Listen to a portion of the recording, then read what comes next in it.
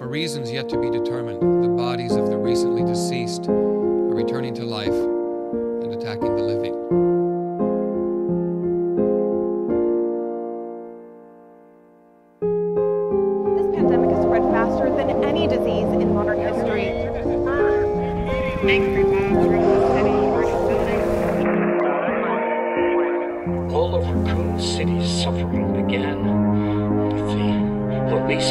Biological weapon known as the T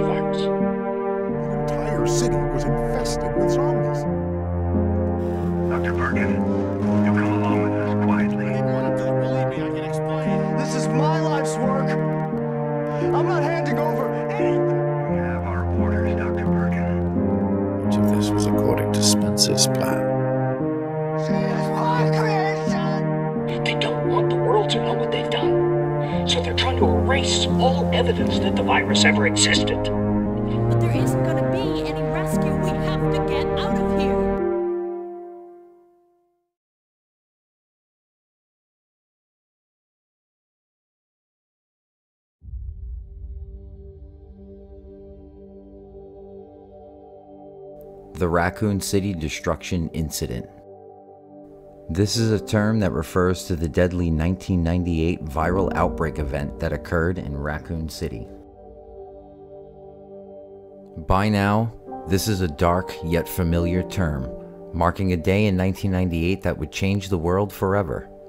It was an incident that revealed the corruption and deception of one of the world's most powerful corporations, ushered in a new generation of bioterrorism across the globe, and it was the first time an American city was wiped out in a nuclear strike. For almost a decade after the incident, and many years after the Umbrella Corporation was officially outlawed and disbanded, a staggering amount of information was withheld from the public. Even after more information became available and similar bioterror events unfolded worldwide, the whole truth behind the destruction of Raccoon City and what led to it has been hidden from the public. And because of this, the whole true story of America's lost city has never been told. To make sense of this historic catastrophe, we must delve into the events that led to the outbreak in the city. This documentary aims to do just that by using a variety of information, documentation, video, and testimony to bring you a concise chain of events. Contained within is some information that was previously unreleased to the public. Thanks to the test of time and the persistence of truth, we're finally, after 24 years, able to bring you the whole story of Raccoon City.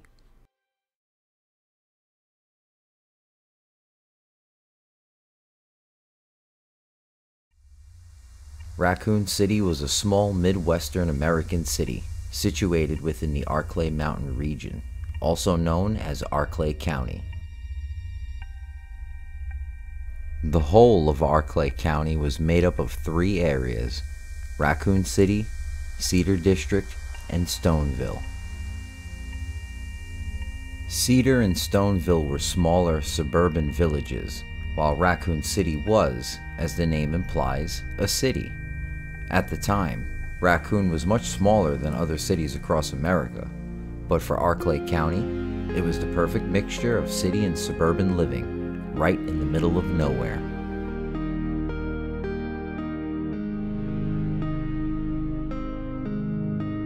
In the decades prior to the 1960s, Raccoon City was hardly a city, but it did still serve as the economic hub for the entire Arklay County. As the United States began massive modernization projects across the nation, so too did Raccoon City.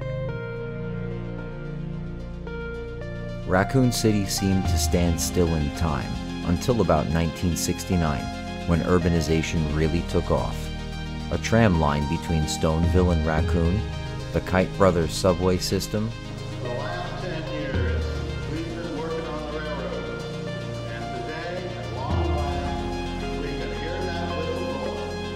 and the Raccoon City Police Department all sprang up that year.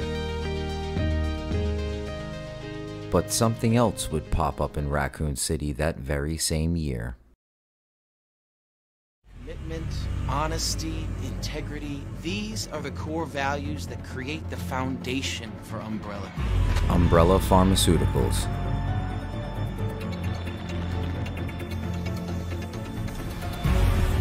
It's this foundation that will continue to build a brighter future for all of us.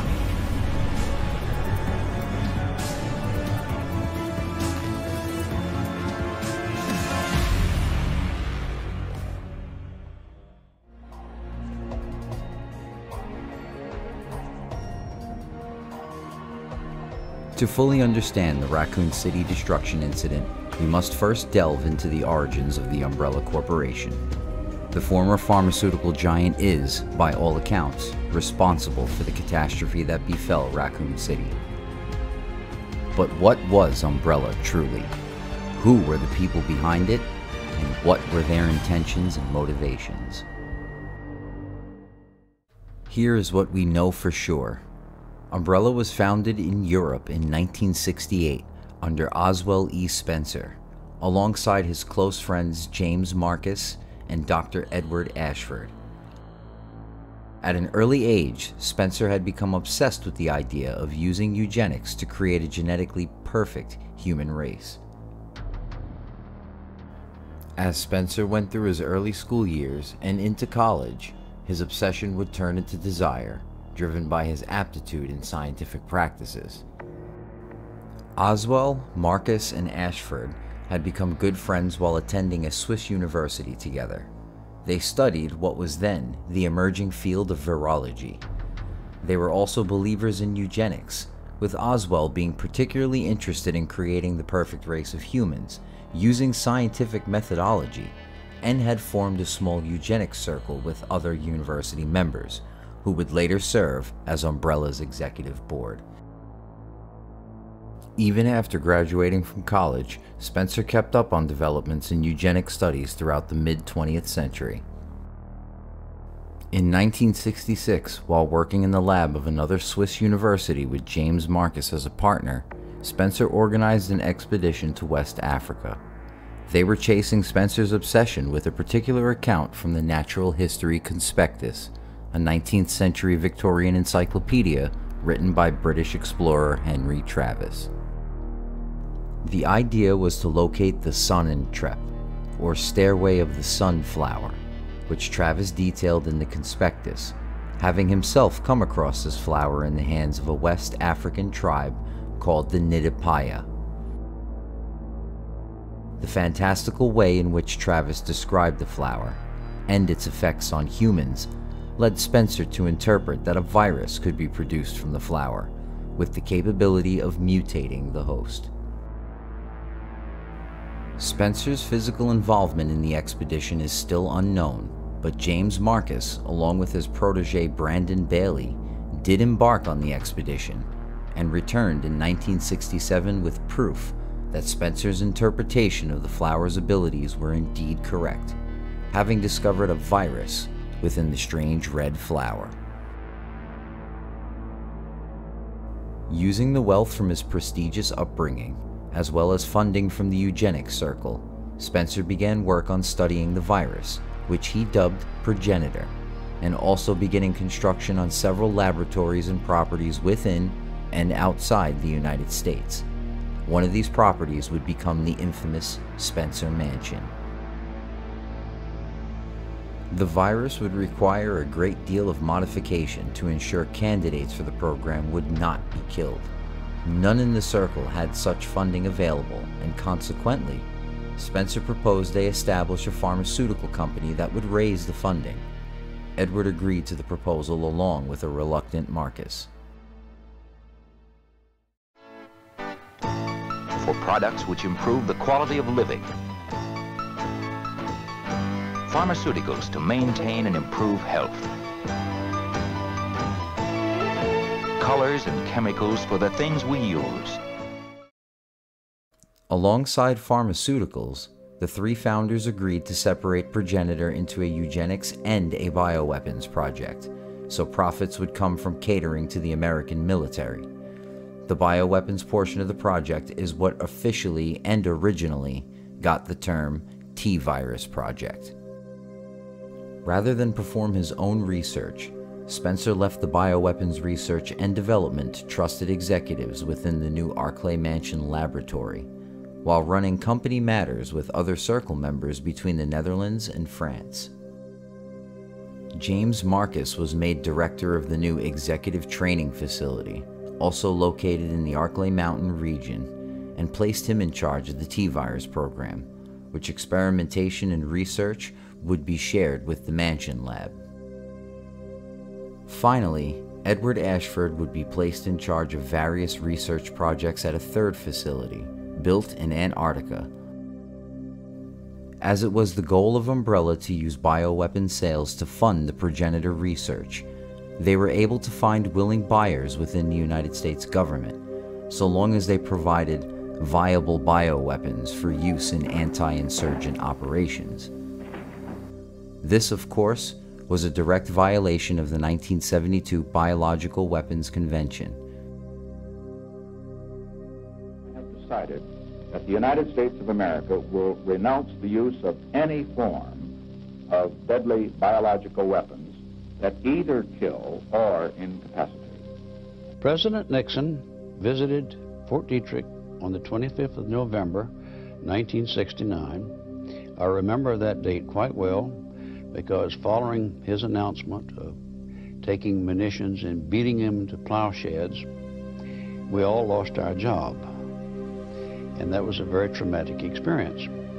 But following his presidential announcement on the, this date, the, the entire United States offensive program on biological warfare came to a close within two years. We destroyed all of our seed stocks. We destroyed all of our production material at Pine Bluff, Arkansas. And we completely got out of the biological warfare business. The statement ended, unconditionally, all U.S. offensive biological weapons programs. The BWC sought to supplement the Geneva Protocol and was negotiated in the Conference of the Committee on Disarmament in Geneva from 1969 to 1972 following the conclusion of the negotiation of the Treaty on the Non-Proliferation of Nuclear Weapons. Despite the Biological Weapons Convention becoming international law, there were still buyers within the United States military industrial complex that were eager to get their hands on whatever Umbrella was cooking up. Under the nose of the White House, the military industrial complex would help Umbrella hide its laboratories and biological weapons programs.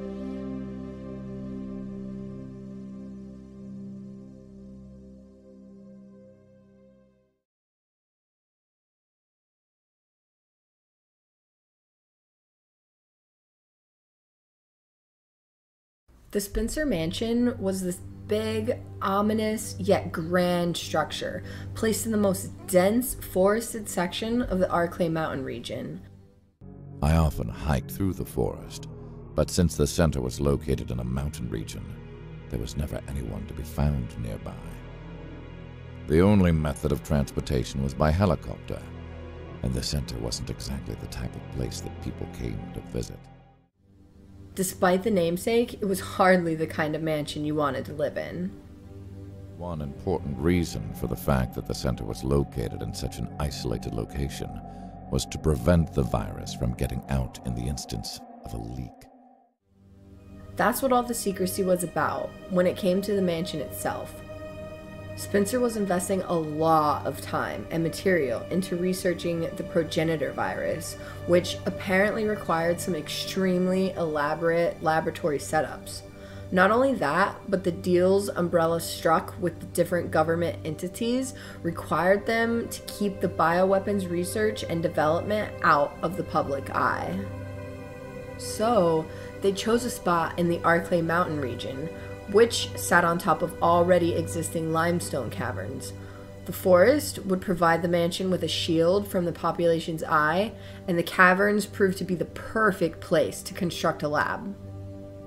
Whenever I would leave the center for a walk in the woods, I would always think to myself, why did Spencer choose this place? The Spencer Mansion was quite a structure from what I've seen of it sort of reminds you of a Winchester mystery house or even H.H. Holmes murder hotel in regards to the construction. You see, Spencer hired New York architect firm Trevor and Chamberlain, big time NYC architects at the time, to build the mansion, which brings me to the reason why I mentioned that it reminded me of the hotel H.H. Holmes built. Holmes had a nefarious reason to build that place and used an elaborate but almost senseless design to mask it. Long halls with lots of doors, dead ends, and even fatal booby traps. Pretty much the same story as the Spencer Mansion. The house section itself was designed with living in mind. After all, if it was going to serve as a cover up for the lab, the house had to be livable. It was built with luxury in mind, given how wealthy and prestigious the Spencer family was known to be. A grand foyer, massive dining room, various guest rooms and bathrooms, office spaces, outdoor catwalks, everything you would find in your everyday mansion. The elegant design would serve the mansion's first role, providing misdirection. Its second role was security. Since the house itself would remain relatively unoccupied, Spencer secretly had George Trevor design and construct several trap mechanisms throughout the main house ceilings that dropped, walls that closed in on each other, spike traps, automatic lock mechanisms on doors, and even a ventilation system that could fill some rooms with noxious fumes.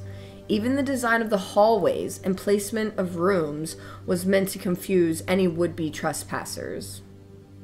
The center was an extremely dangerous place to run virus research. And if you really think about it, the location of the Ashford Antarctica Research Center was really a much safer and obvious choice. It would almost seem as if this place was specifically chosen as a location for the purpose of spreading the virus. But I just can't imagine that would really be so. What makes this bit of information so significant is what happened to George Trevor following the mansion's completion. When the mansion was finally completed in 1967, Spencer invited George, along with his wife and daughter, Jessica and Lisa, to stay at the mansion. On November 10, 1967, Jessica and Lisa Trevor left for the Spencer mansion, with George planning to follow along in a few days after completing some leftover work. Shortly after their arrival, Jessica and Lisa were captured by lab security staff and imprisoned within the lab itself. Spencer, being the deeply paranoid man that he was, wanted to ensure the secrets of the mansion never got out. He was also keen to the idea of using the mother and daughter pair as test subjects for the various viral programs being conducted at the lab. George Trevor would arrive at the mansion on November 13, 1967. He was treated as a guest upon arrival, but was told his wife and daughter had to leave to visit a sick relative and that they'd be back in just a few days. After seven days of waiting, George decided to leave the mansion and look for his family, but he too was also captured. George did manage to escape captivity, but would find his way into the twisting caverns around and under the lab. After several days of eluding lab security, he stumbled into a small passage hoping to find escape. What he found instead was a gravestone with his name chiseled on the face. It was here that he would eventually succumb to hunger and injury. Weeks earlier, Jessica Trevor had died almost immediately after being captured, as she did not take well to the viral testing. On the other hand, Lisa was receiving the viral testing better than any other subject the Arklay team previously worked with, prompting them to keep her alive for the sake of continued testing over time.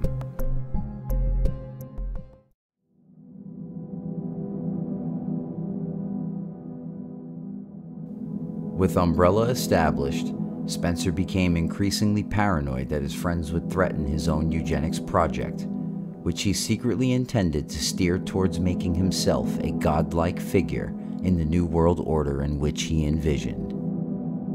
Although he already controlled the project by 1967, after having secured Marcus's research from the African expedition, Spencer's paranoia reached a point of escalation in 1968. That year, he orchestrated an accident with the progenitor virus, killing Edward Ashford and leaving all the Antarctic research programs in the hands of his son, Alexander Ashford. They were aristocrats, entitled and sustained by a greed for power.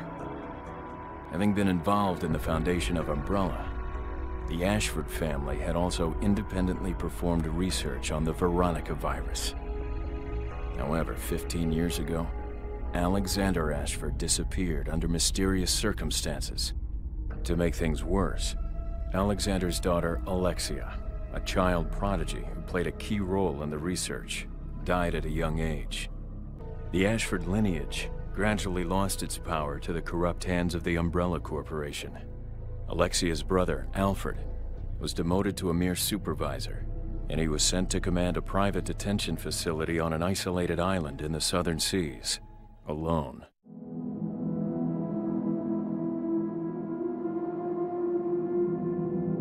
Dr. James Marcus's research reached a breakthrough in September of 1977, discovering a highly infectious viral variant through his own progenitor research. He had even reported this breakthrough to the Umbrella Executive Board in January of 1978. It was actually Marcus that coined the name T virus for his viral variant, to divorce the strain from the progenitor virus. At last, I've discovered a way to build a new virus type with progenitor as its base. Mixing it with leech DNA was the breakthrough I had needed. I call this new virus T for Tyrant. The nearby Arklay laboratory was also, at the time, working on progenitor type A and type B mutant strains. The reasons things start getting confusing is because they too use T virus as the name for their newly discovered strains. In the late quarter of 1978, James Marcus was suddenly dismissed from his role with the company. The executive training facility, in which Marcus was based out of, was decommissioned by Umbrella, and all its staff and research projects were moved to the Arklay lab. Two members of the executive training facility staff would later play a role in events William Birkin and Albert Wesker. Marcus, who was already beginning to suspect Spencer is trying to steal his work, opted to remain at the now abandoned training facility and continue his work on the perfected strain, with intention of presenting it to Umbrella's executive directors, hoping the success would convince them to replace Spencer with him at the head of Umbrella. William Birkin and Albert Wesker were both assigned to head the T Virus project, as Spencer was well aware that Wesker and Birkin were two of few people Marcus trusted and worked closely with. July 31st, 1978. The first time I visited that place, it was the summer of my 18th year. That makes it about 20 years ago. As I got off the helicopter, I remembered the sight of the swirling wind the helicopter blades whipped into the air. When viewed from above, the old mansion seemed quite normal. But when seen from the ground, there was something foreboding and unapproachable about it. Birkin, my junior by two years, seemed as usual to be only concerned with the document he was holding. We were assigned to the mansion two days earlier, on the day that the executive training center we had belonged to was closed. It all seemed like it was planned, too much of a coincidence. From that day on, the Arklay Research Center was ours. As chief researchers, we were put completely in charge of all aspects of the facility. Hmm. Of course, that is just how Spencer had planned it all out. He chose us. The origin of the company was to create new starter viruses by recombining genes. In order to produce biological weapons out of these new starter viruses, they began studying virus mutations in order to strengthen the basic viruses they had created. This was known as the T virus experiment. The T Virus project had one goal to create a bioweapon with the virus that had a 100% fatality rate, which, of course, is something any military would be willing to buy. The whole time we were riding in the elevator, Birkin never took his eye off the documents he was holding. The document that Birkin was scrutinizing so closely was a report about a new virus that has shown up in Africa. It was called Ebola. At this moment, there were many people all throughout the world who were studying the Ebola virus. However, I think there were two major reasons why they were studying it. To help people and to kill them. The reason Birkin was so interested in the Ebola virus was that he was thinking of recombining the Ebola genes into a starter virus to strengthen its attributes. Fascinated by Ebola's potential as a weapon, Birkin noted that people would be killed too quickly for it to work in war adequately. The Ebola virus had too many weak spots. First of all, the virus could only survive for a few days, if not inside a human body. It would soon die if under sunlight, ultraviolet light, for too long. Secondly, since it kills the host too quickly, there isn't enough time to transfer, infect other hosts. Finally, the virus is only transferable through direct touch, and so it can be easily prevented. Try to imagine the following. If a person who was heavily infected the disease had spread all throughout their body, could actually stand and walk around, and without knowing it, was in direct contact with other people of their own accord. What if the RNA of the Ebola virus could actually alter a person's genetic code? And if, through that, a person was able to carry the virus without dying? What if this person had the resilience of a monster? That is, wouldn't this person be a living dead whose body carried the virus? Something that could infect others, sort of like a living biological weapon. The team at Arklay made a breakthrough in 1978 under the leadership of Dr. William Birkin a modified T virus strain with RNA from Ebola was thusly created, which led to their independent creation of zombies. Now, despite this breakthrough, the virus still only sported a 90% fatality rate, with an estimated 10% natural immunity factor in play. Was impossible to get a 100% infection ratio. Within people, there is a subtle difference that the virus couldn't totally overtake. It seems compatibility was also a major factor. About 10% of the people who were injected with the zombie virus didn't get infected. And this was something that, no matter how hard we researched, we just couldn't overcome.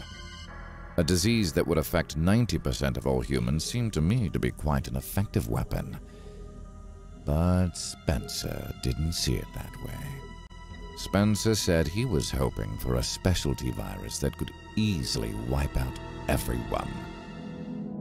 Once they were able to get the A and B strains of the T virus to a 90% fatality rate, the second phase of the project would focus on offsetting that 10% survival rate. By using genetic recombination, Wesker and Birkin began learning how to create creatures that could hunt human survivors. Birkin was planning on making a biological weapon that would increase a country's military capacity. Not to just manipulate the genes of the T-virus, but also by adding other genetic code. He was planning on creating him. A military biological weapon that could annihilate those who went unaffected by the virus, as well as people who were wearing antiviral gear and equipment. This weapon was later named Hunter.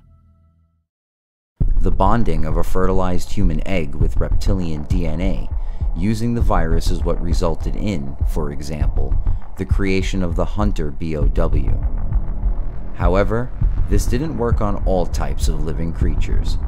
Sometimes, viral introduction to animal or insect DNA would simply cause a growth in size, but left their intelligence all the same, leaving them untrainable and virtually useless. In the case of dogs, the virus showed promising results, as the Cerberus was still trainable even after infection. The Doberman Pinscher's genetic makeup accounts for its ability to utilize innate protective instincts, a high level of intelligence, and a natural response to evaluating a threat in order to perform as a guardian. Another notable random effect of the viral strains was the VACT process. In some cases, when a zombie is knocked unconscious, it undergoes the VACT process. Within an hour or so, the zombie mutates rapidly, developing sharp claws, teeth, and a drastic speed up of the heart's pumping system. This increase in blood flow throughout the body causes the zombie's skin to sport a crimson hue. This, along with their aggressive nature, is what led the Arklay researchers to dubbing the creatures as Crimson Heads. In an effort to finalize his power over the T-Virus program, Spencer sought to eliminate the rogue James Marcus, who is still unable to present his findings to the Umbrella executive directors.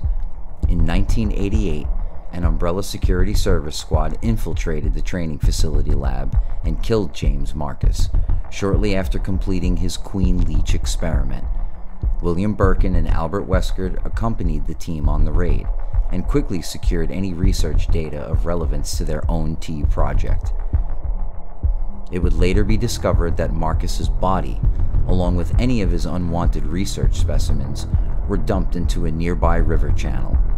By the time 1998 rolls around, James Marcus was virtually wiped out of Umbrella's history, only keeping records to show he was dismissed in 1978. With all perceived obstacles removed and a trove of research and findings obtained from his former partners, Spencer watched as the Arklay lab slowly manifested his twisted ambition into reality. Using the new information from Marcus's work, Birkin and Wesker would move on to start various research projects and develop more mutant strains of T-virus, all of which would be helped along by a particular, unwilling test subject. We hadn't heard a single word about her before. She was a secret of the utmost confidentiality at the research center, and they didn't let any information about her out of the compound. According to the records, she was at the research center from the very moment it was first built. She was 25. But we didn't know her name, nor why she was here. She was to be used as the experimental subject host for the T-virus. The day we began the experiment was November 10th, 1967. We did T-virus experiments on her for all of 11 years.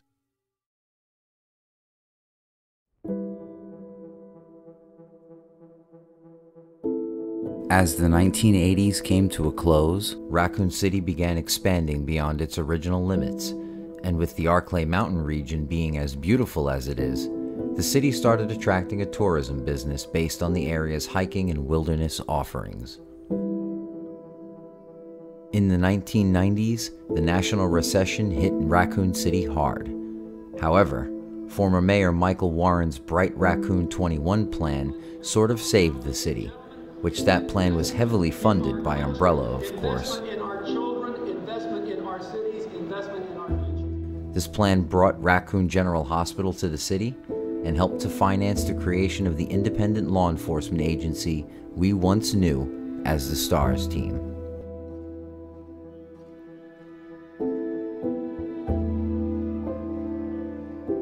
The Raccoon Police Department was established in 1969 when the then city's rapid expansion necessitated a dedicated police force beyond the Arklay County Sheriff's Department.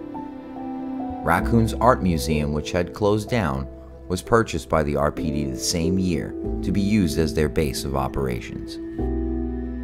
When Mayor Michael Warren began preparation for the Bright Raccoon 21 project in the early 1990s, the force received extra funding from various local companies, including Umbrella USA, who wanted assurances that the RPD could deal with the increasing crime rate and the threat of domestic terrorism. Ambulances were confronted with two dead victims, literally hundreds of injured, and at least 15 hurt seriously. From this funding, the Special Tactics and Rescue Service was established. Though STARS was not part of the RPD, it was based within the Raccoon Police Station, and its officers held the power of arrest like local police did. The Raccoon Police Department was comprised of several divisions, including the Patrol Division, Special Weapons and Tactics, the Special Tactics and Rescue Service, and canine units. The department was commanded by Chief Brian Irons, a man known to have an explosive temper and later revealed to have been one of many city officials paid by Umbrella in the form of bribes. This under the table relationship between Umbrella and the RPD ensured that the Raccoon City Police Department never went through with any investigations against them.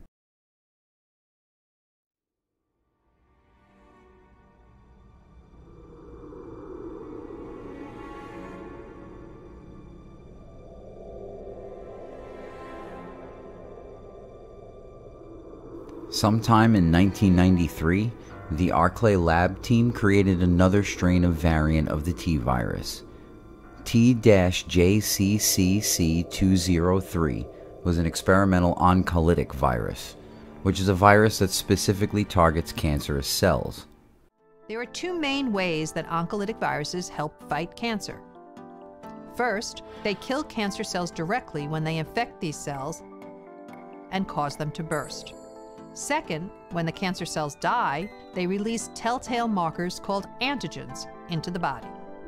These cancer antigens are taken up by cells of the immune system, which then alert our body's attack cells, the T cells, to look for and kill cancer elsewhere in the body. However, this extremely beneficial virus was a T virus strain, so any positive attributes the strain carried were only to mask the true nature of the virus. At this time, Raccoon General Hospital had not been built in the city yet. Instead, a smaller hospital served all three districts of Arklay County, roughly situated in the center of the three, surrounded by the dense Arklay forests. This hospital, as you can imagine, was used as a testing ground by Umbrella. That year, using a dummy pharmaceutical company only referred to as Drug Inc., Umbrella provided the hospital with the experimental T-JCCC203 reagent.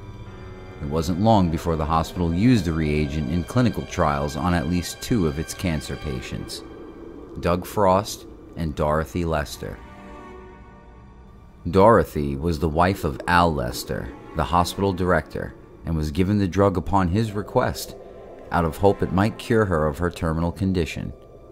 Instead, Dorothy mutated into a zombie, which Dr. Lester and the staff kept isolated within the hospital. The Raccoon City Police Department caught wind of the under the table imports the hospital was accepting and launched an investigation. Though the activity was indeed to be found illegal, Umbrella's meddling in the police department prevented any charges from being filed, and it also went largely unreported by the media. Kurt Diamond, an investigative journalist for the Raccoon City Press, picked up on the rumors of bizarre experimentation, dealings with foreign business, and suspicious patient deaths coming out of the hospital. Concerned as to why there was a lack of reporting on these incidents, he began an investigation of his own. It was later revealed that Mr. Diamond was murdered shortly after beginning this investigation. Despite Kurt's death being completely covered up, the hospital was shut down anyway, amid other allegations and rumors it had already faced. Grief stricken and without a job, Albert Lester remained at the hospital.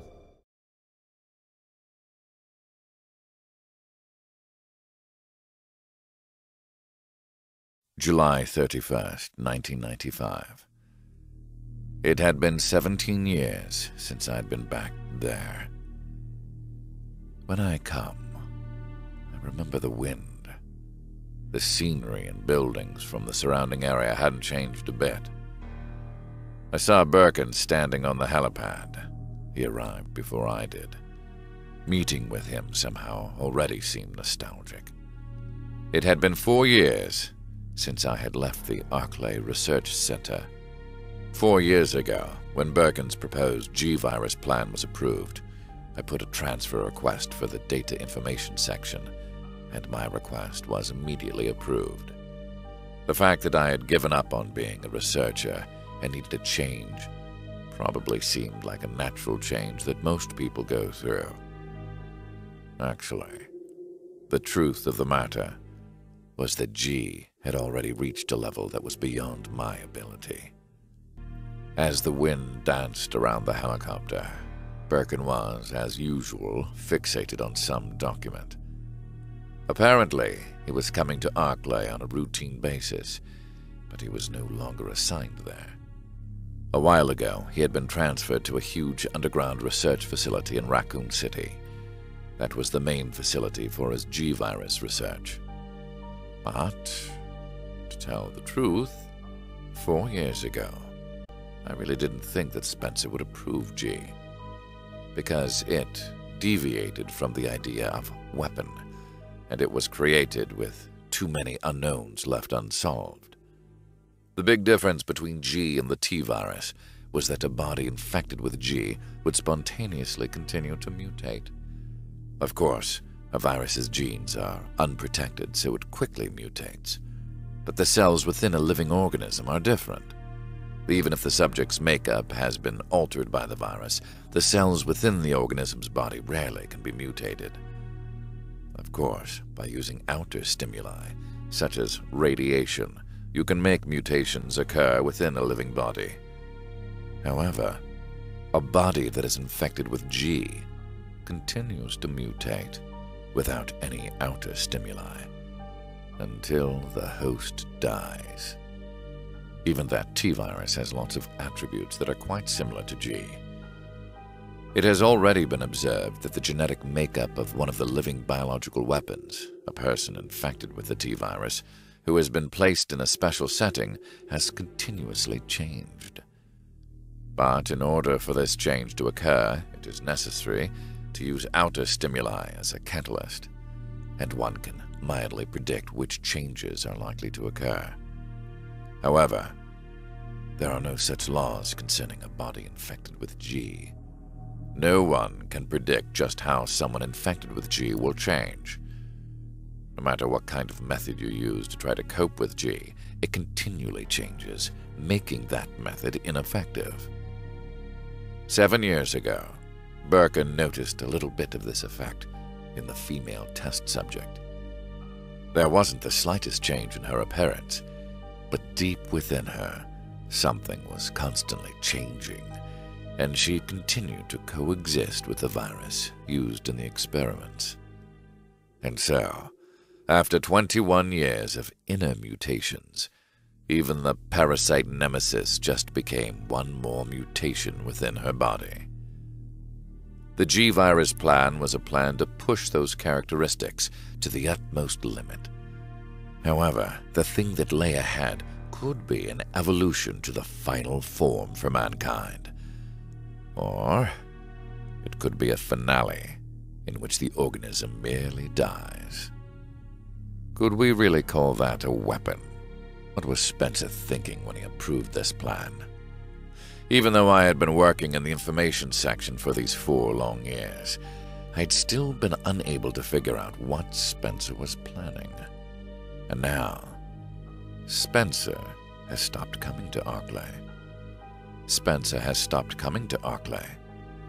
Almost as if something that he has been eagerly awaiting and expecting has begun. Spencer, like some mirage floating in the desert, had begun to grow farther and farther away from me. But I was sure that a chance would present itself to me eventually. That was, of course, if I lived long enough to see that day. Birkin and I got on the elevator and rode to the top floor, to the place where we had first met her.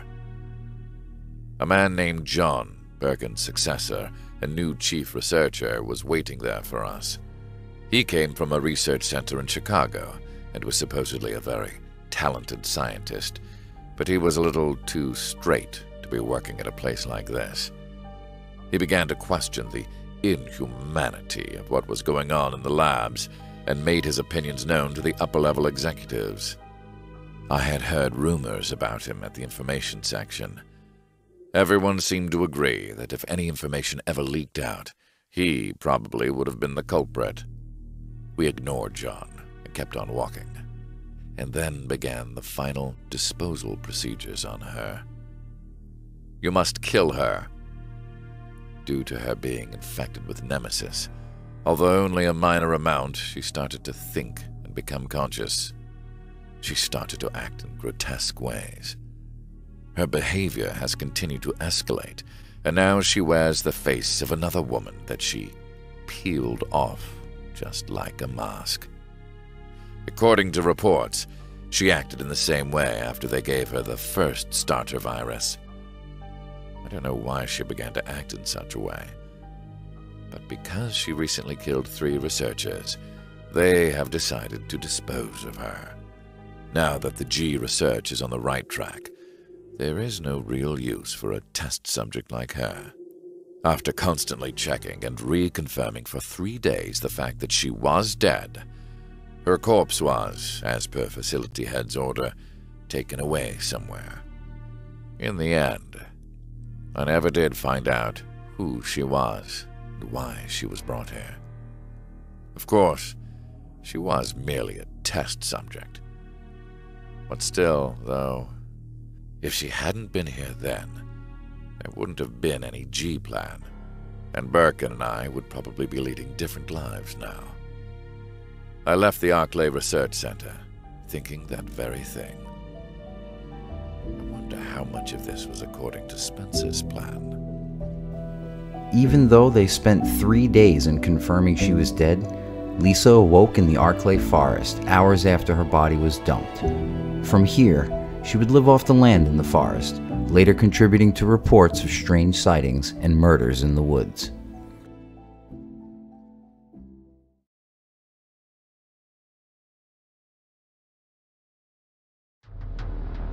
It wasn't until May of 1998 that everything came crashing down for Umbrella and Raccoon City. The Spencer Mansion incident, or STARS raid, is actually a series of events, rather than just one. It begins with the Epsilon T virus strain being released into the Arklay lab and training facility. One of James Marcus's previous successful experiments, the Queen Leech, had consumed Marcus's body as a food source over the course of several years. It is believed that the sentient creature gained some of Marcus's memories and plotted revenge against Umbrella for their treachery. After spending 10 years perfecting the ability to mimicry into Marcus's image, it finally decided to enact its plan in May of 1998. On May 11th, the Queen Leech set off a containment failure in the Arklay laboratory, infecting the entire staff with the Epsilon strain of T virus. The leak was discovered quickly, causing the lab facility to go into lockdown.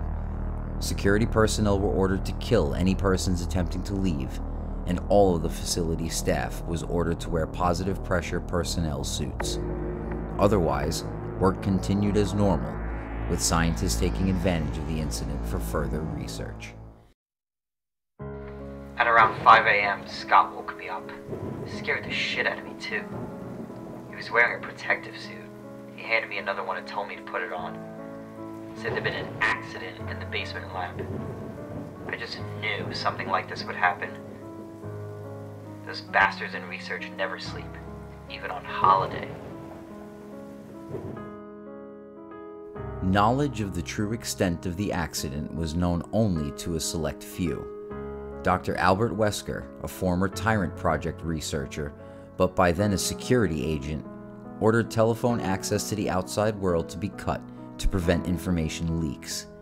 At this point, at least 78 Umbrella employees, not counting Dr. Wesker's team, were subject to quarantine, seven of whom being researchers on transfer from Umbrella HQ, along with at least 24 human test subjects.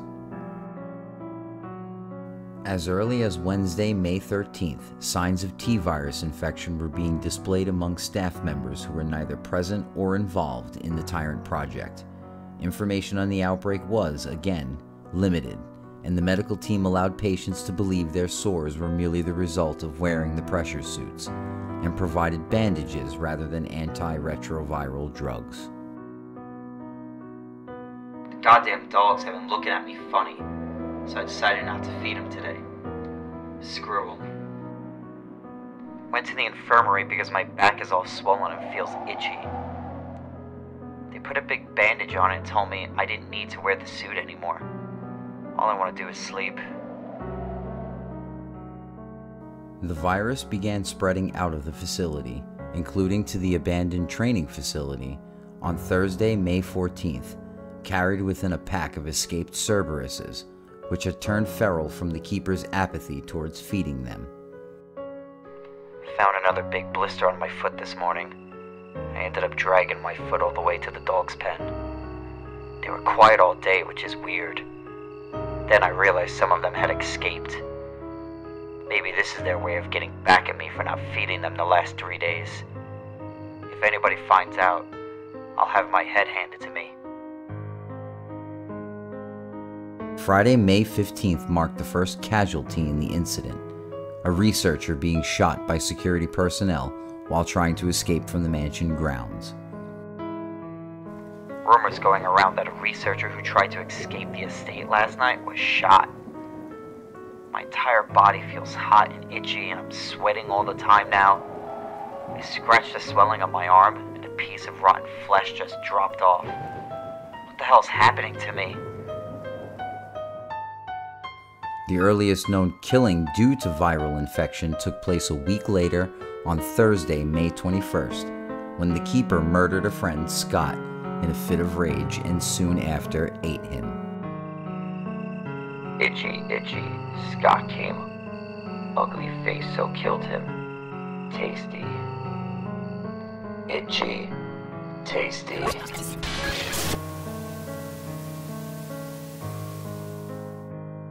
The writings of another man, Martin Crackhorn, indicate that the mansion was lost to the zombified staff by Wednesday, June 3rd, and that he planned to take his own life to avoid becoming a zombie himself.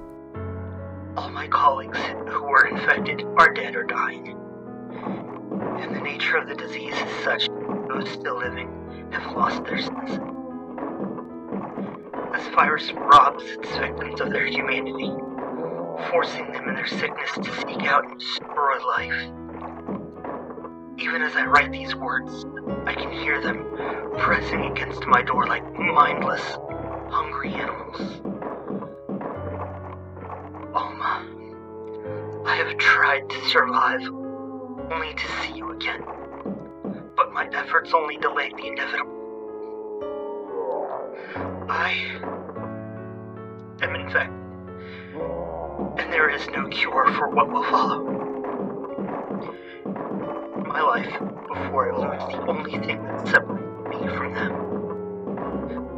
My love for you. In an hour, I'll have entered my eternal sleep where there is peace. Please understand. Please know that I'm sorry. On Monday, June 8th, Chief Researcher Dr. John Clemens discovered in the lab he was also infected with the virus, possibly indicating the lab was still operational to some level. He left instructions to his girlfriend, fellow Umbrella employee Ada Wong, to kill him should she come looking for him. There is just one more thing, and it is my last request. I hope you never have to lay eyes on me in this state. But if you do happen to run into me in my hideous form, I beg you to put me out of my misery. I hope you understand. Thank you, Ada.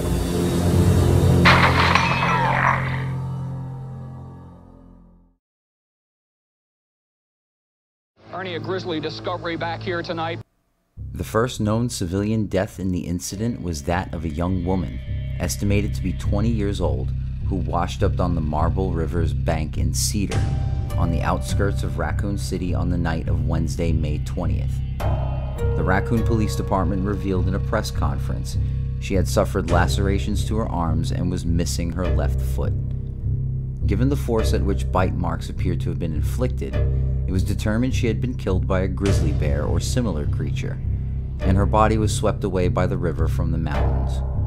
A mountaineering boot on her right foot suggested she was out hiking at the time of the attack and may have been an out of state tourist. By mid July, the total number of mysterious murders in and around the city grew to 20 13 Raccoon City citizens and 7 out of state hikers in 5 different incidents. The investigation into the deaths, conducted by the Raccoon Police Department, was extensive but yielded no results. Due to the excessive nature of some mutilations, some younger victims were so unrecognizable that even parental identification was having setbacks, with some victims' faces being ripped open and their abdomen regions being completely excavated. Information given to the press was also deliberately limited. One police officer estimated that coverage of the violence did not even constitute 10% of the injuries committed on victims. The Raccoon Police Department had quickly determined cannibalism to be part of the murders and could not rule out that at least some victims were eaten while alive. The police were starting to build a theory in which the murders must have been committed by a group of violent cultists who would presumably consume narcotics before killing and eating their human sacrifices. New and intense scrutiny on the activities of satanic cults. Stories of devil worship and satanic cults corrupting young minds. The police began asking questions at the Raccoon General Hospital and local pharmacies, hoping to find patients with suspicious injuries. Talk to them as they recorded me, and they start telling me about devil worshiping. And began searching for evidence of any violent cult groups active in the area. Satanic worship is satanic worship is. It's like being a Catholic. You believe in God and you believe in Jesus. They believe in Satan. Even though these investigations made no progress, we just haven't found it in the woods yet. We need protection. We are paying taxes. It was decided that, regardless of cult activity, a gang of killers must have been using the mountains as a base of sorts. They will be searching this area in the next few days to see what they can find. As one police officer told us tonight, God knows what they can find here.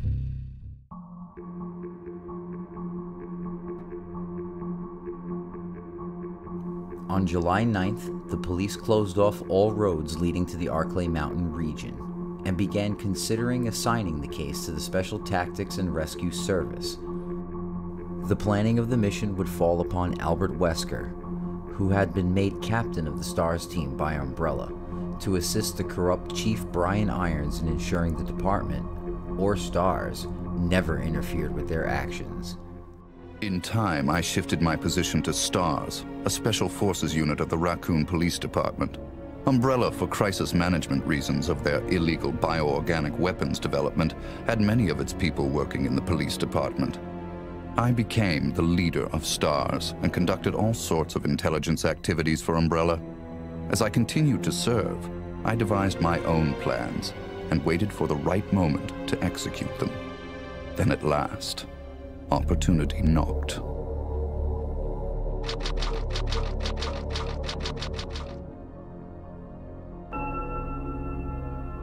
The freak murder incident that occurred in a forest near the mansion started it all.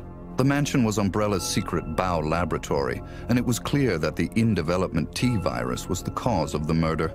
Initially, Umbrella instructed me secretively to keep STARS out of the case. But, with the heightened emotions of the citizens, STARS had no choice but to move in. Wesker is tasked with removing the evidence of Umbrella's experiments before Star's arrival, and he was also to be present at the training facility for its reclamation. Given Umbrella was unaware that the Arklay Labs outbreak had reached the training facility, on the night of July 23rd, they had sent out a train, the Ecliptic Express, carrying Umbrella employees to the training facility, with intent on reopening and staffing the facility. Yeah. Do about it. Hold off for a while. But I wonder how those R&D people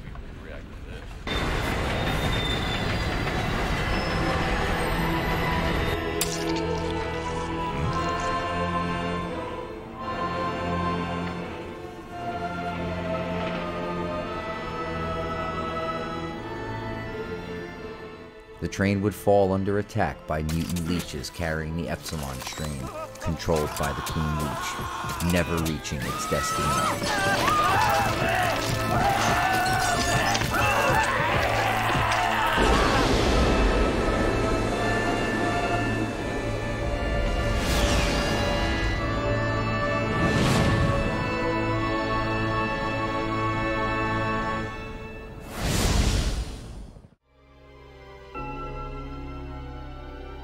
When my next order was given. Dispatch STARS to the mansion, dispose of them, then report the situation to headquarters so that their combat with the BOW could be used for data analysis, allowing Umbrella a comprehensive portrait of the BOW's combat abilities. The STARS Bravo team was assigned orders to investigate the area around the Spencer Mansion. The mansion and its purpose was unknown to the team, therefore catching their suspicion as a possible location for their perceived killers. Bravo team took off by helicopter that same evening, two hours after the train was attacked. However, the helicopter had been sabotaged by Captain Wesker before takeoff and suffered an engine failure mid-flight, which forced it to crash land not far from the Spencer Mansion. As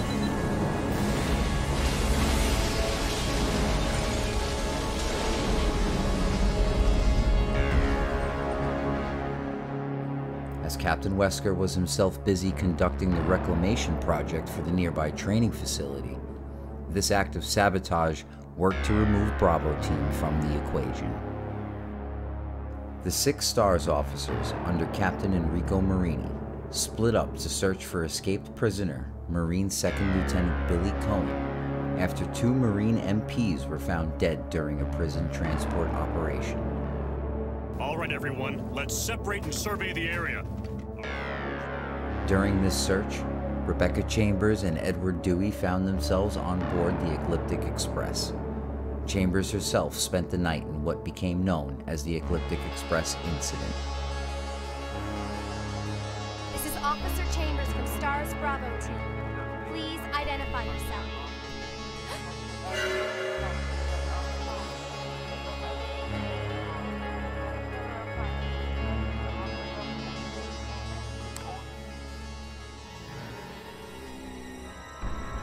Due to Miss Chambers' age, lack of experience, and being a rookie at the time, some speculate she could not have survived the ordeal alone. Though she denies these claims to this day, rumors persist that she did in fact come across Billy Coen, and that he may have helped her reach the Spencer Mansion.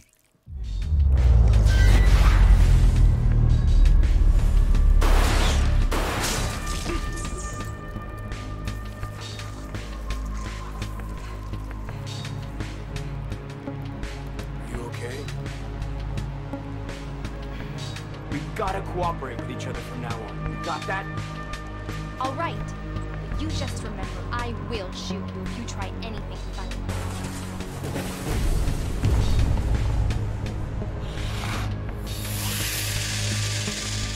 Richard here.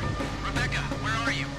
I'm not sure, but I can see the entrance.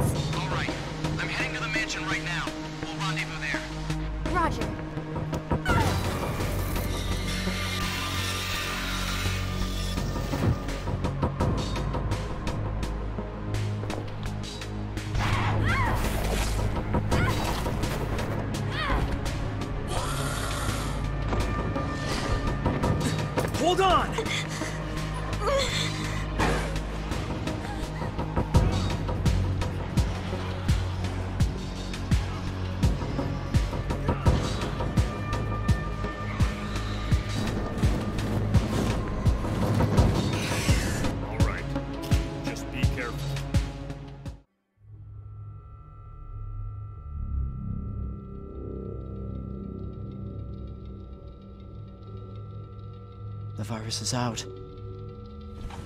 We can't hide this anymore. It appears Umbrella is finished. You're just gonna walk away? Our research isn't complete. We can make a more powerful virus. Do what you like. The T virus is near completion and only needs test data. That is why STARS is in place. I will bring them into the mansion.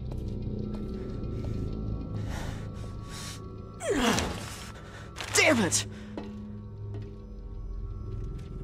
better get rid of this place before there are any more complications. Hmm.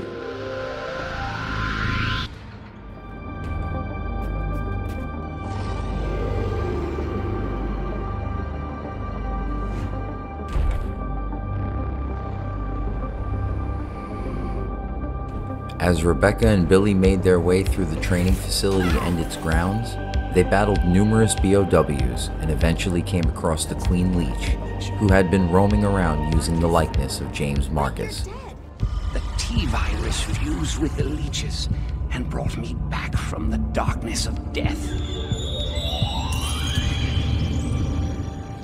Now, I will have my revenge on Umbrella, and the world will burn in an inferno of hate.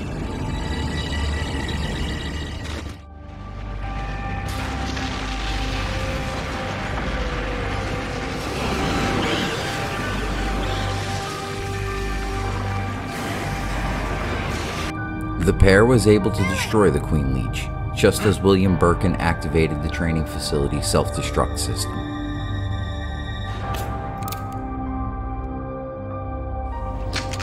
Hey, Queenie! Feast on this!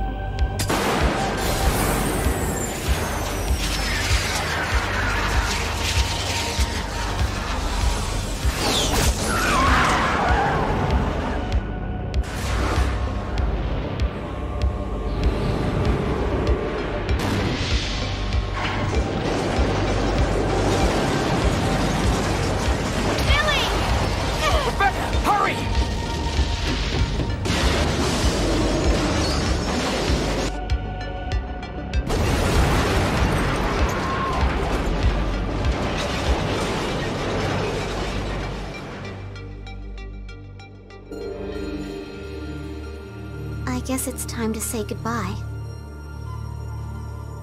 People are waiting for me. Officially, Lieutenant Billy Coen is dead. Rebecca, thank you.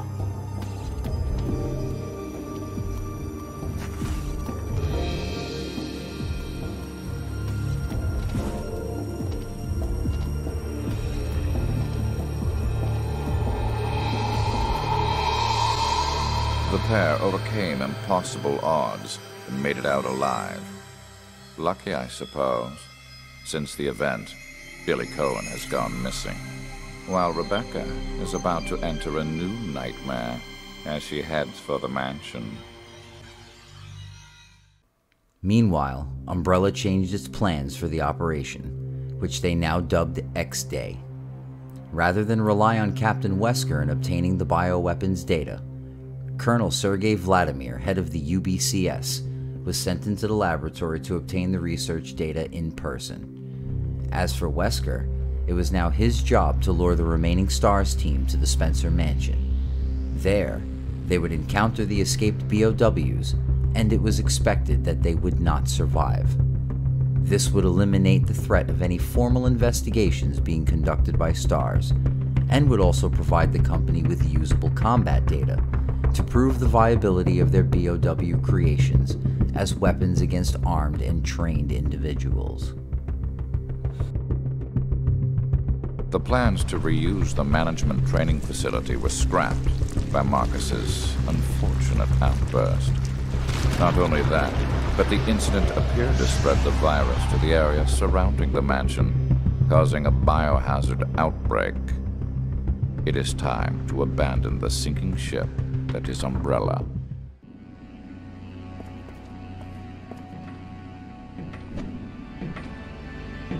Where might you be going, comrade? My next mission. The reclamation of the management training facility was your mission. And now you're just going to walk away without taking responsibility for your failure. The T-Virus has escaped. I will detonate the facility and dispose of it. Comrade, don't forget who's in charge. You can't just do what you feel like.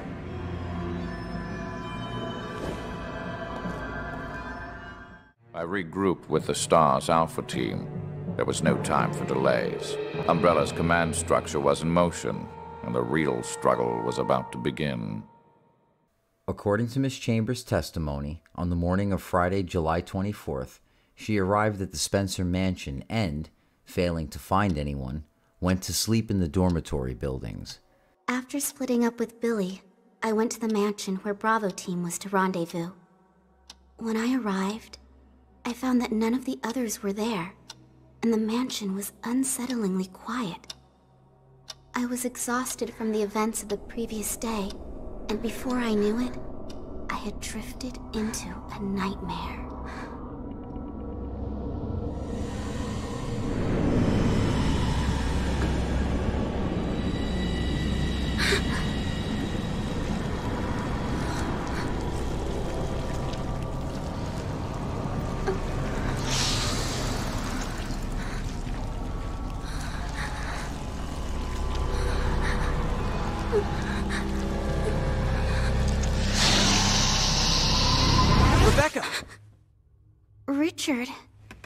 Okay?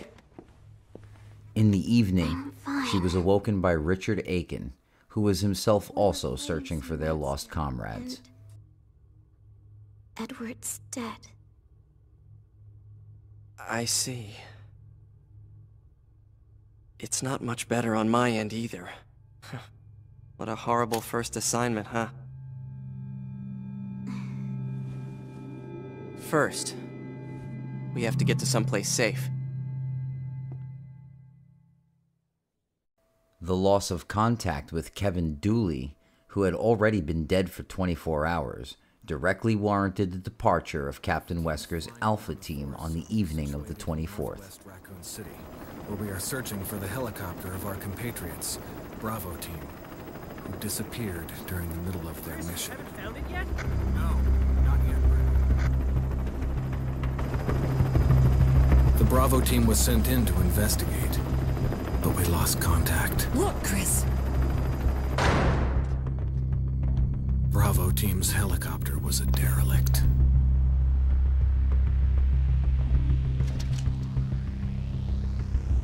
Save for the remaining body of Kevin.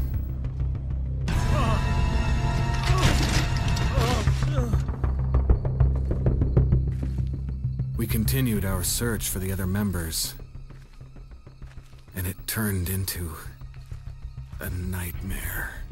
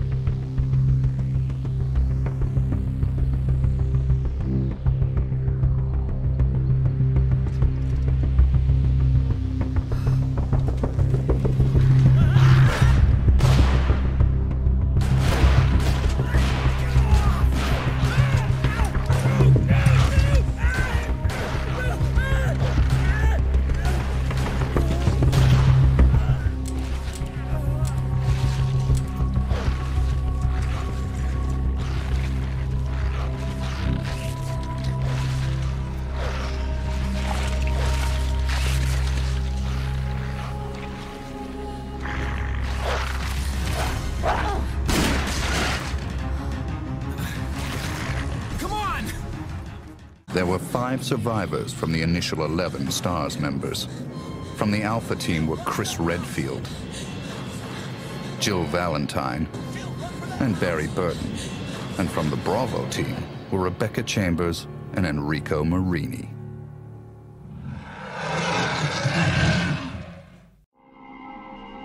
There are only three STARS members left now. Captain Wesker, Barry, and myself. We don't know where Chris is.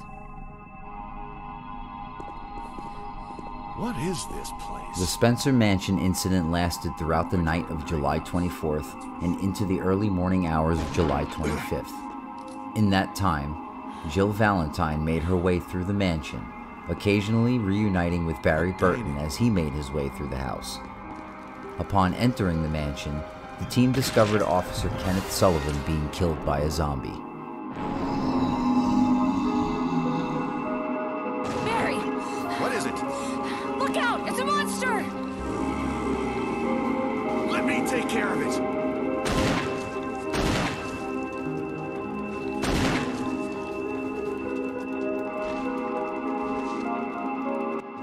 As the house was explored further, the rest of Bravo team was discovered in various areas, deceased, and Wesker was performing evidence cleanup after capturing and imprisoning Chris Redfield in the laboratory below the mansion. Ahead of the departure, Captain Wesker manipulated Barry Burton into believing his wife and daughters, Moira and Polly, were being held hostage by Umbrella security staff, and that Burton had to assist him in destroying incriminating data which might survive the lab explosion, lest his loved ones be killed.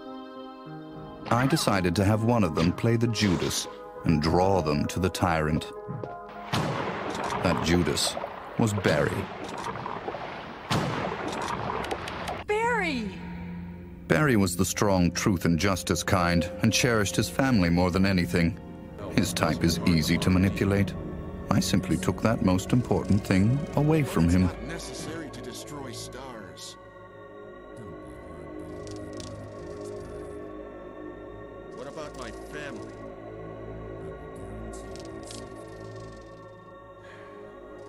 If I play my cards right.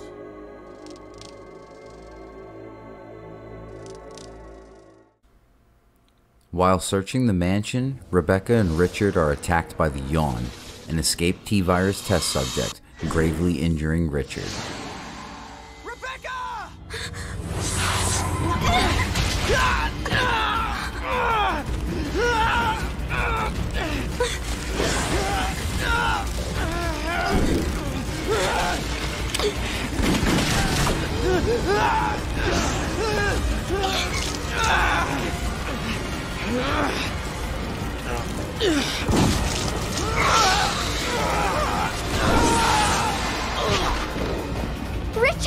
How long Chambers stayed with Aiken following the attack is uncertain, and certain accounts are conflicting, though it appears she eventually left him to go to the mansion's storeroom, where serums were being stored. Richard. Don't make that face at me. We've still gotta have hope. Someone will come and rescue us. I know it.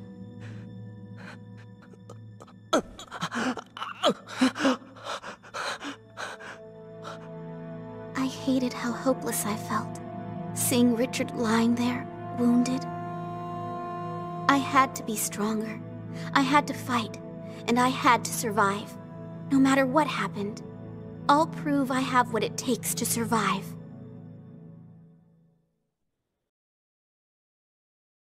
Jill would battle her way through various parts of the mansion grounds, uncovering more about its true purpose while struggling to stay alive.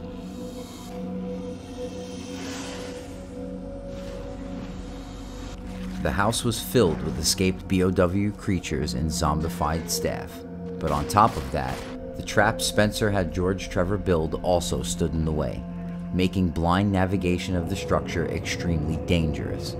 Just as well, Lisa Trevor had made her way back to the mansion at some point after the outbreak, stalking the grounds and setting her attention towards the STARS team.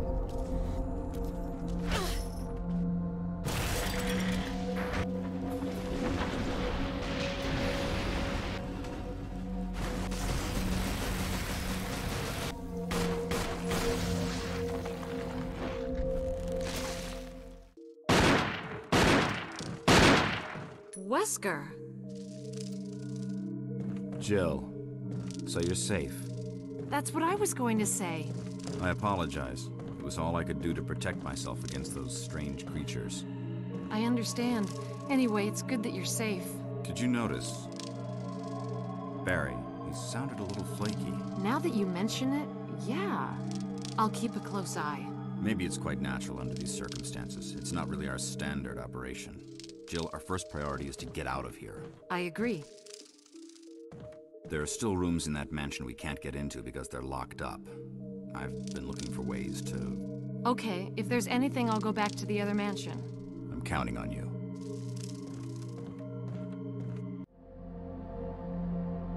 It was time to begin executing my plans. In the midst of the whole affair, I could take Umbrella's ultimate bioorganic weapon, the Tyrant, and join forces with an opposing corporation of Umbrella. To buy into that opposing corporation, I would need the actual combat data of the Tyrant. He would use STARS to distract Umbrella from any suspicion, steal data, blow up the laboratory to cover up everything, and then sell the data to a rival company. The surviving privileged members of STARS were just the perfect bait.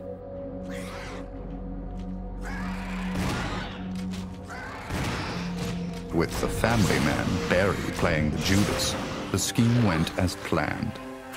Then the winds turned Oh, Jill. unexpectedly. What good timing. A moment ago, I heard someone's voice coming from this hole. Is that Jill? Is that voice Enrico's? Listen, the STARS are going to be finished soon. Someone is a traitor. Everything was plotted from the start by Umbrella. I had to eliminate Enrico, who found out what was behind it all. I used Barry to get to him. Traitor? Who?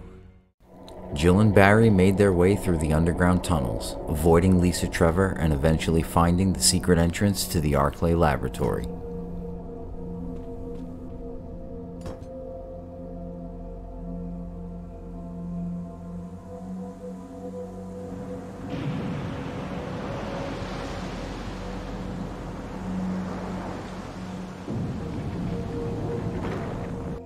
At some point around this time, Captain Wesker infected himself with a prototype virus handed to him by Dr. William Birkin. I injected the virus I obtained from Birkin in advance. If I made Umbrella believe I was dead, it made it far more convenient to sell myself to the opposing corporation. According to Birkin, the virus had profound effects.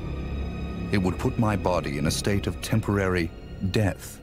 It would then bring me back to life with superhuman powers. I awaited the sample specimen that Barry would bring to me in the Tyrant's room. Thank you, Barry. Well, what do you know? Oh, don't blame Barry for everything. I hear that his better half and two lovely daughters will be in danger if he doesn't do everything I tell him to. Barry, go up on the ground and wait there. Barry. you gotta love Barry. He must really be afraid of Umbrella. You and Umbrella took his family. You bastard. Oh! Umbrella? Well, I used some carrots and sticks to cow him, but it had nothing to do with Umbrella. I just used Barry for my personal interests. Though both you and Barry seemed to think I was following Umbrella's orders. What? What are you planning? I guess it's time for show and tell.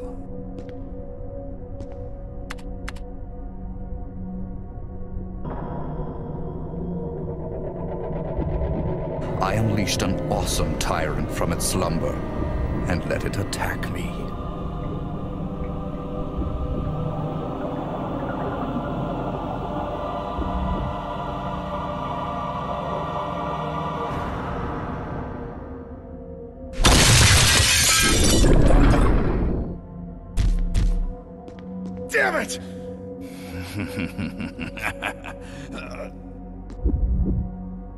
Piece of me? What? Premature.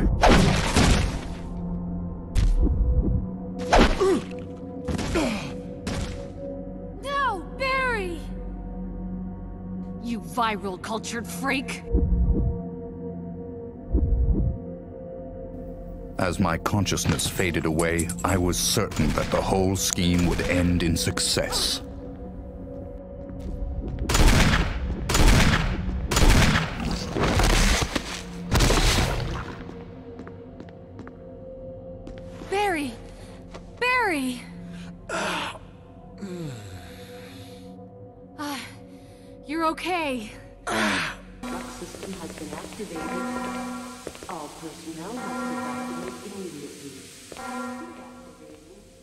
Vickers still flying around the forest above ground, the remaining team raced to the rooftop, intent on getting his attention. Jill Valentine had also discovered Chris Redfield, alive and well, being held captive in a prison cell. Anything on Wesker? We'll talk later. First, let's get going. The virus that Birkin had created brought me back from the brink of annihilation. When I awoke, hatred became my master. Having betrayed Umbrella for nothing, Wesker decided to simply escape the laboratory and take advantage of his assumed death for the time being. Emergency. The self I found the tyrant that killed me was dead, and the facility was just moments away from self destruction. I did not have time to enjoy my newfound life. I had something I needed to do. Must evacuate immediately. Time to grab the data and get out. Due to the emergency condition, all data has been backed up to the UMF 013. Sergei was busy.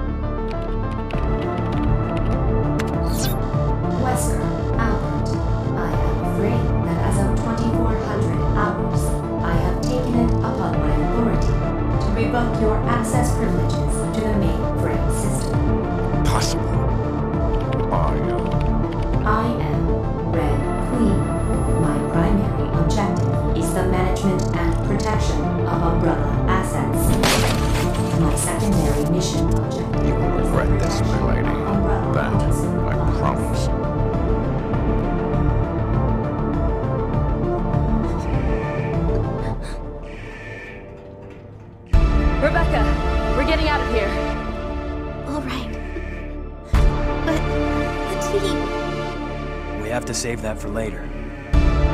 Let's get moving.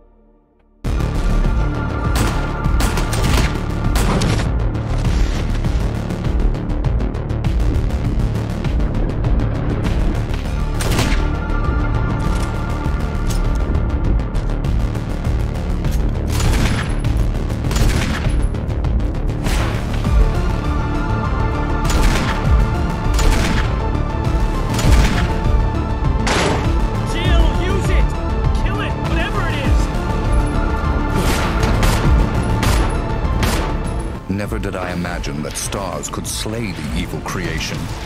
I lost the tyrant, and the plan I devised, which cost me my humanity, ended in failure.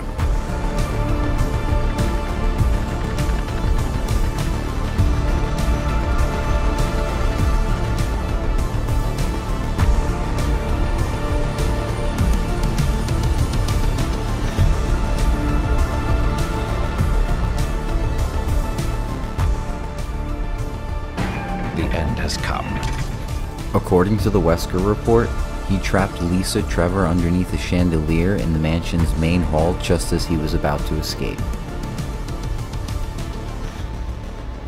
Wesker escaped the mansion just as it exploded, using his newly acquired abilities from the viral enhancement.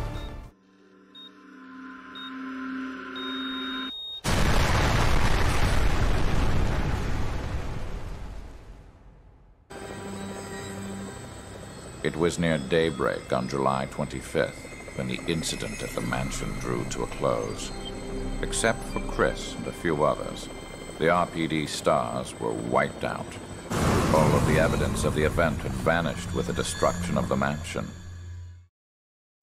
And so I was reborn like a phoenix emerging from the flame. I no longer needed Umbrella. A new horizon stretched out before me. I had risen beyond the human race and cheated death itself, leaving nothing to oppose me. The laboratory's explosion caused devastation within the Arklay Mountains. A total of 750 acres of forest was destroyed by the resulting fires. The fire was so large, in fact, that the Raccoon Fire Department found itself under-equipped to battle the blaze. Mayor Michael Warren quickly authorized the Army National Guard to assist in the firefight. is uh, 17 miles, 8,000. Okay, so we'll come to the left of the white building. Upon their return to Raccoon City, the remainder of the STARS team demanded an immediate investigation into Umbrella. Despite the STARS team's acquired evidence and the mysterious circumstances surrounding the mansion's destruction, Chief Irons was able to quell media curiosity and quickly had the team disbanded and discredited. From this point, the corrupt Chief Brian Irons would assist Umbrella in covering up the extent of the damage done. A cover up that would keep Raccoon City blind to the truth all the way up to the end. As you have seen, there were several early warning signs and red flags, spelling out that, at the very least, something bad was coming to Raccoon City. As summer turned to fall, people started looking away from the STARS raid and murders and began looking forward to the escape in which autumn holidays tend to bring.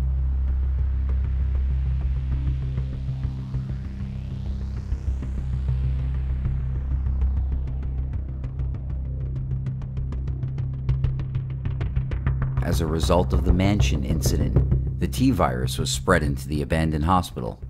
The body of Dorothy, still in storage in the hospital basement, was consumed by a monstrous plant.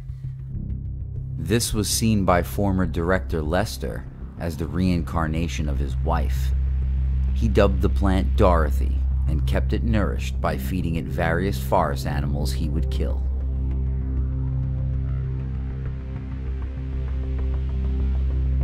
It wouldn't be long before Al Lester began targeting campers and hikers in the Arklay Forest as well.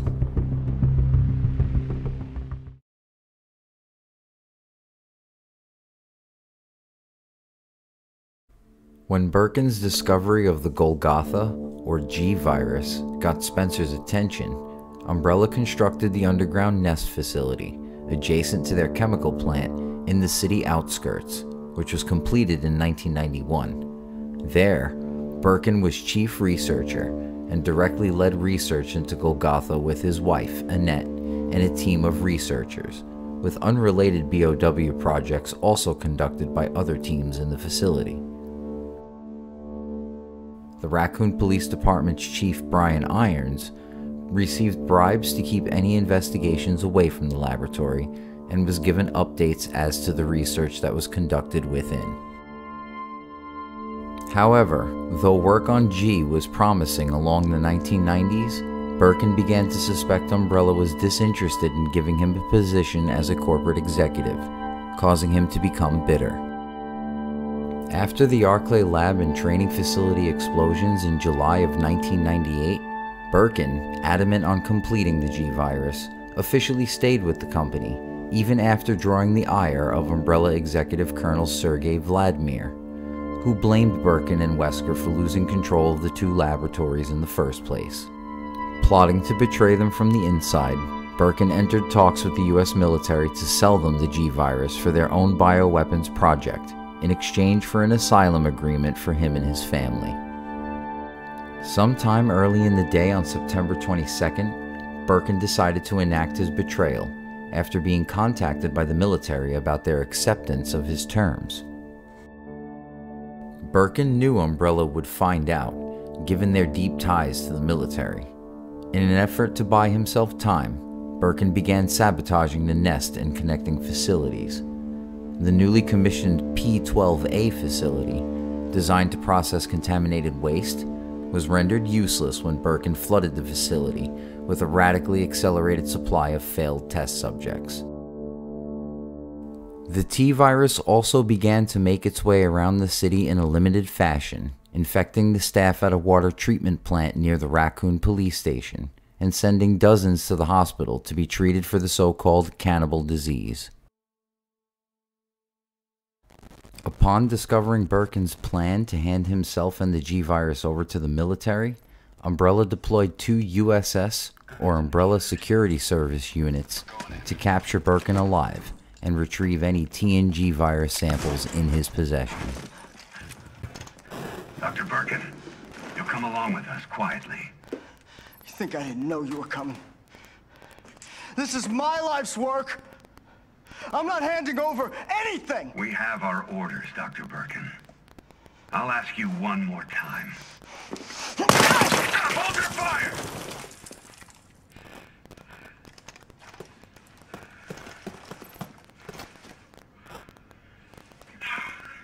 What the fuck were you thinking?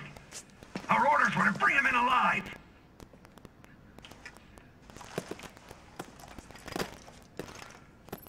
We're in, sir. But we had a snafu. Target resisted. We had to take him out. That's correct, sir. Roger that. Just the samples, then. Let's move.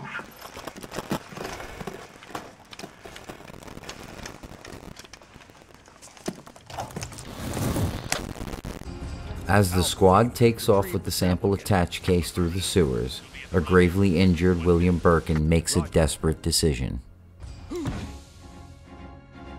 Injecting himself with an overlooked sample of the G virus.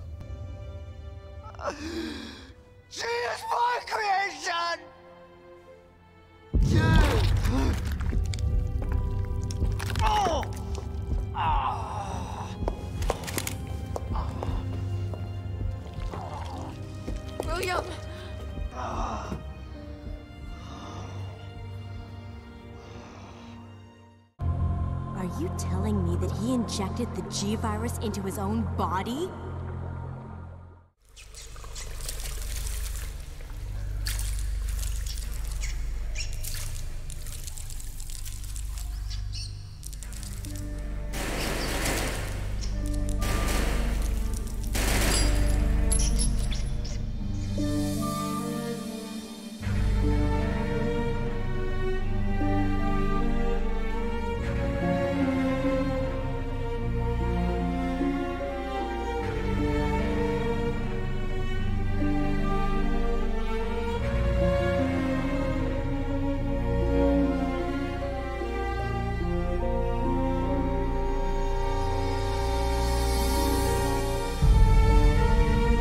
Birkin, who is now a mutated G variant, pursues the USS squad through the sewers as they attempt to evacuate, destroying any squad members as he finds them.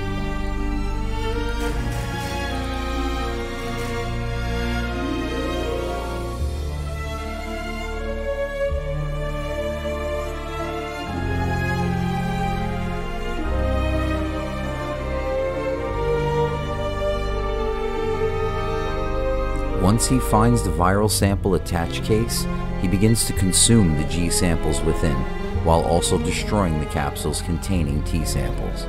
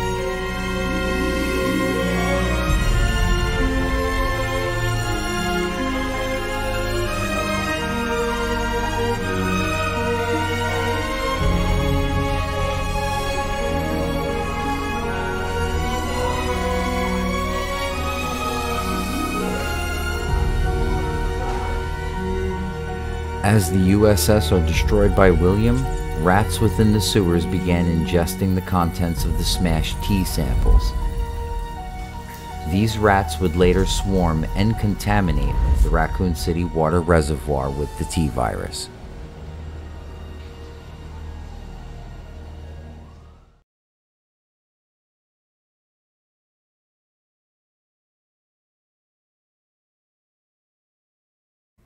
It is still unclear how, but Umbrella was aware of the infected rats contaminating Victory Lake, which was Raccoon City's water reservoir, and began warning key company and city officials of the impending outbreak by the evening of September 23rd.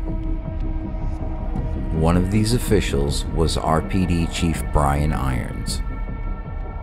When briefed of the emergency on the night of the 23rd, Irons became hysterical and began preparations to botch police operations as per orders from Umbrella. A man who was already plagued by violent anger. I accidentally moved one of the stone statues on the second floor when I leaned against it. When the chief found out about it, he was furious. I swear the guy nearly bit my head off screaming at me to never touch the statue again. If it's so important, then maybe he shouldn't have put it out in the open like that. Irons was said to have come undone due to his current frustration and worries regarding Umbrella's failure to contain the Arklay outbreak. Mayor Michael Warren was also one of the first to be alerted and departed the city immediately, leaving his daughter Catherine in the care of Chief Irons. The mayor assumed she would be safe with Irons, while he awaited the situation to improve from outside the city. This photograph, recovered by Raccoon City survivor Claire Redfield, shows Catherine Warren deceased. It was found within Brian Irons' personal journal, which was also recovered by Miss Redfield.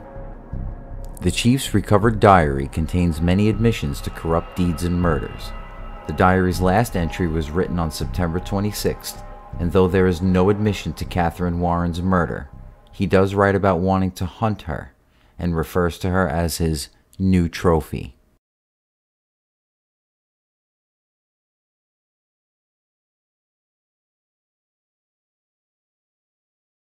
Wants to make it perfectly clear that this is not a case of bioterrorism. No such agents exist in the arsenal of any nation or known terrorist group. This pandemic has spread faster than any disease in modern history. Yes, in that the circulatory, respiratory, and other vital functions terminated, these subjects are technically deceased. Please just let me get through this and then I'll take questions. CDC has quarantined the lower Midwestern region of the U.S. This is a minor, containable situation that we expect to see fully resolved in 24 hours or less. Again, that was Press Secretary William Kaplan with the first official statement from the White House a little over 30 minutes ago, stressing calm and what he assures us is a fully containable situation.